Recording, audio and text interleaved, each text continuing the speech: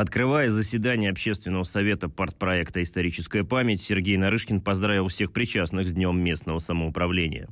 Именно сотрудники муниципалитетов, депутаты на местах представляют наиболее близкую людям власть, ежедневно помогают нашим гражданам.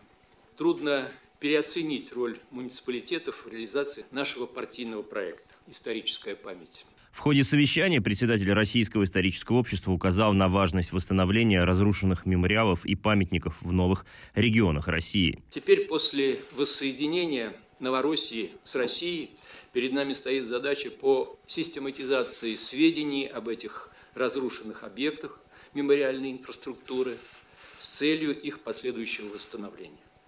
Рассчитываю, что сегодня будет озвучен ряд конкретных предложений на этот счет. В настоящее время развернута работа по восстановлению краеведческих музеев Новороссии, наполнению их новыми современными экспонатами.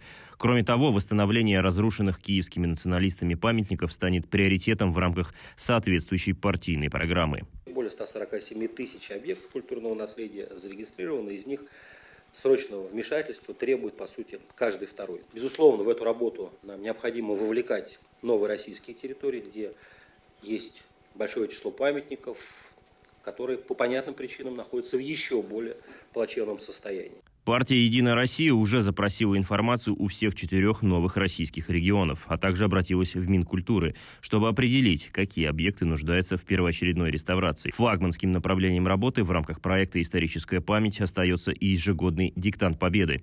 В этом году он пройдет в пятый юбилейный раз на более чем 22 тысячах площадок. Порядка 160 из них будут организованы в Новороссии. В этом году диктант пройдет в том числе на зарубежных площадках э, организаций э, высшего образования России. То есть в филиалах наших вузов, совместных университетов у нас более 30 таких площадок, и в каждом из них пройдет диктант победы.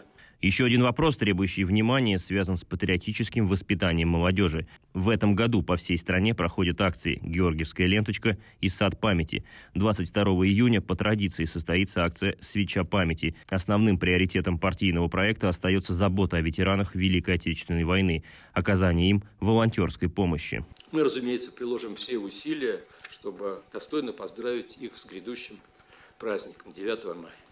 Одновременно с этим продолжим оказывать поддержку ветеранам специальной военной операции, увековечивать память героев России во всех регионах страны. Российское историческое общество продолжает играть ключевую роль в рамках реализации партпроекта «Историческая память».